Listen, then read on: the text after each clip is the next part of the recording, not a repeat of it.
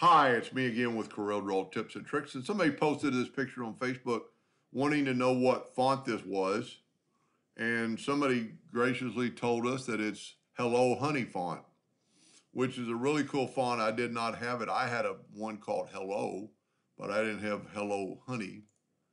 And if you look, here's Hello Honey, and you spell out the words, and it actually comes up with that heart, but it doesn't do it on all words. So I kind of, and now that I say that, I think everything's the same except for maybe that S. You know, it's a little bit different. Maybe there's some, you know, things around that or whatever. But I just found it at DaFonts. And I just went to DaFonts, typed in Hello Honey, and there it is. Downloaded, pretty easy. I've got plenty of video but the heart's not in, in the alphabet. So what you'd want to do is type out, let me just back up here, get it back before I was playing with it. And you just type out Ashley and David. Don't have to have a space in between them or whatever. And then you're going to control K to get rid of the, uh, break the text apart.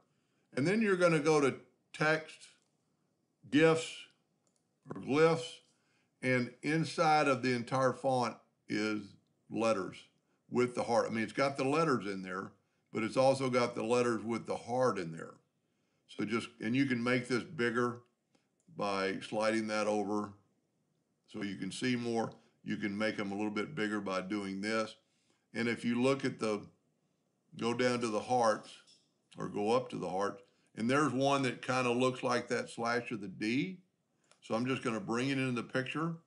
I'm going to go ahead and enlarge it, and I'm going to make it, let's see how big this font is. It's 130. I'm going to make this 130, so it'll match. Like I said, I've already broken the, the D apart from the other letters. I'm just going to take that D out. Now, I don't know if the, every letter's there. I'm going to move Ashley out of the way for a second. I only broke it apart one time. And you just kind of place this font in that D. Now, I don't think there's one for the A, so you would just bring in the Ashley. And you'd want it relatively close so you could bring it in, you know, even like that. But to trim out that spot, you'd have to take that heart, go up to Object, convert it to a curve so you can use the virtual segment delete key and delete that part.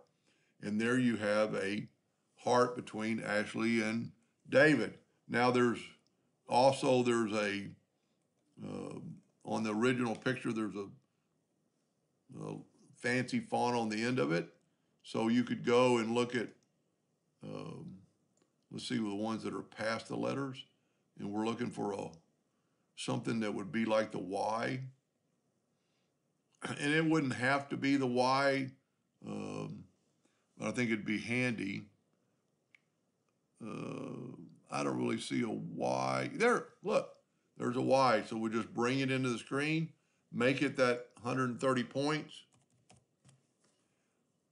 Well, that's before the letter. We need one after the letter.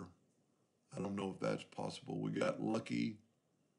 There we go. There's after the letters. But you could you could use part of the letter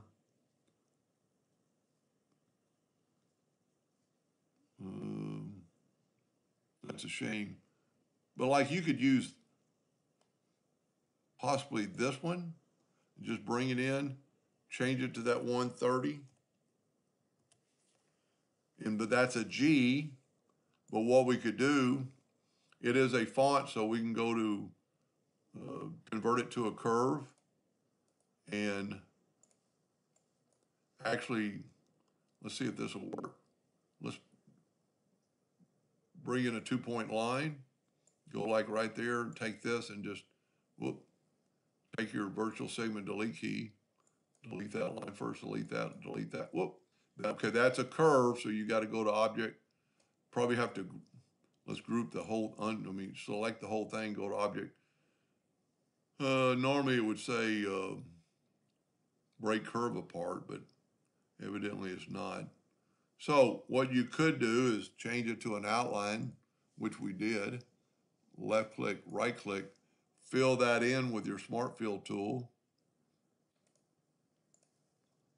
And then you, I didn't hit it right. Evident, oh, see what I did? It's not closed.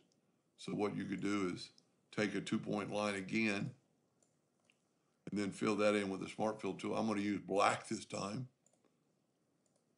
And there you have that little whoop-de-doo and just move that little whoop-de-doo. Now it's not perfect. Let's delete all the rest of this.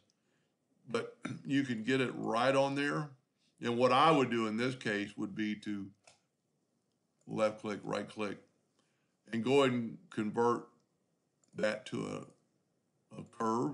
Let's go ahead and, and left click, right click, so we can get a little bit closer.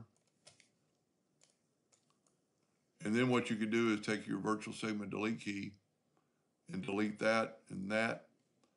Uh, I'd go and what I would do now is take the smart fill tool and fill that and maybe nudge. I don't, let me set my nudge on like on two inches, nudge that down a little bit and left click, right click and get rid of that little bump we have. You could do it with the shape tool, probably just delete those two, see what it does. Not too bad. Uh, maybe use a smoothing tool instead. And just smooth that out just a little bit. That looks pretty good. And then bring it, nudge it.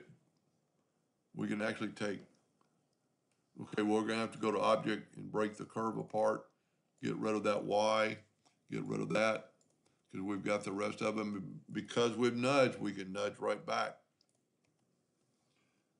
And then you could, you know, you could do a number of things.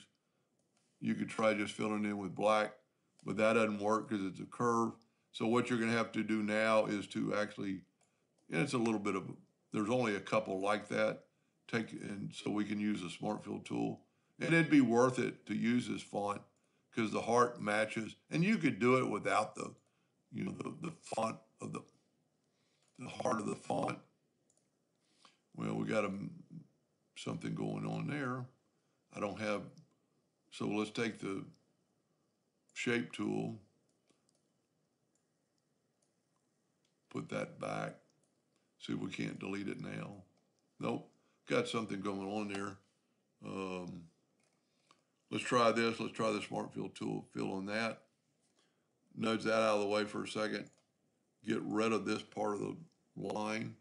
And you see when I use the smart fill tool, I messed up that part right there because it was hanging in there. Left click, right click, nudge it back. Try it one more time, see if it works. Nope, not gonna work. So what you could do in that case is just to smart fill everything and just smart fill that and it won't show. Then I would always, as always, I would select it all and then right click no outline. You get a little bit of thinner font too. I don't think there's, well, there's something before the David, so you could do the exact same thing. Anyway, I hope that helped just a little bit. There is a little bit of spot right there. When we do that, we didn't weld that, so you could fill that in. Anyway, hope that helped. Thank you for watching.